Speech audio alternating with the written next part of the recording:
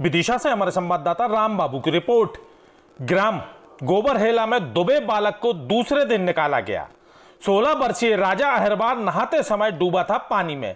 कल से ही होमगार्ड की टीम कर रही थी सर्चिंग। ग्राम गोबरहेला में गुरुवार के दोपहर में समय मुरम के लिए खोदी गई खदान में भरे पानी में नहाते समय एक किशोर डूब गया। जिसकी होमगार्ड द्वारा आज तलाश पूरी की गई। बताया गया 10 से 12 दोस्त गुरुवार को नहाने के लिए भटनी और गोबरहेला के बीच मोरम के लिए खोदी गई खदान में भरे पानी में नहा रहे थे। पानी की गहराई लगभग 35 से 40 फीट बताई जा रही है। नहाते समय 16 वर्षीय राजा अहरबार उसमें डूब गया। होमगार्ड द्वारा लगातार तलाश की जा रही थी। गुरुवार रात 10 बजे तलाश की गई। शुक्रवार सुबह तलाश करते दौरान साढ़े नौ बजे के लगभग उसके सबको बाहर निकाला गया। मौके पर नायब तहसीलदार प्रमोद उइके भी पहुँच गए थे।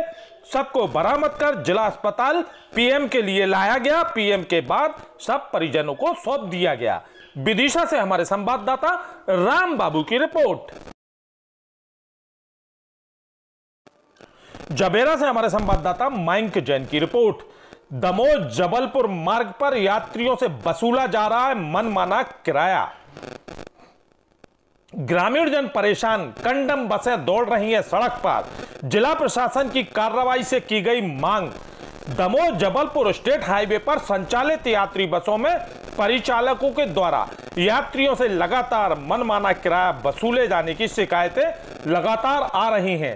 दमोह जबलपुर सड़क मार्ग पर चल रही बसें एवं बसों के एजेंट के द्वारा अवैध रूप से शासन से निर्धारित किराए के अलावा अधिक किराया वसूल किया जाता है, जिसमें ग्रामीण एवं मध्यम वर्ग के लोगों पर आर्थिक बोझ पड़ता है।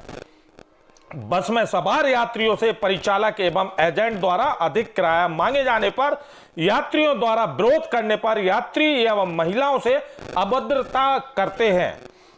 दबाव में बस यात्री उनसे अधिक किराया देते हैं, जबकि जिला परिवहन अधिकारी के अनुसार शासन से निर्धारित किराया एक रुपया पच्चीस पैसे रुपए की दर से प्रति किलोमीटर किराया निर्धारित है। वहीं बस परिचालक द्वारा यात्रियों से दमोह का सत्तर रुपया लिया जा रहा है और जबलपुर का नब्बे रुपए तक वसूला जा रहा है, जबकि शासन के द्वारा निर्धारित प्रति किलोमीटर दर से दमोह का किराया पचास रुपया लेना चाहिए। यात्री बसों में मनमाने अवैध किराया वसूल किए जाने की शिकायत मिल रही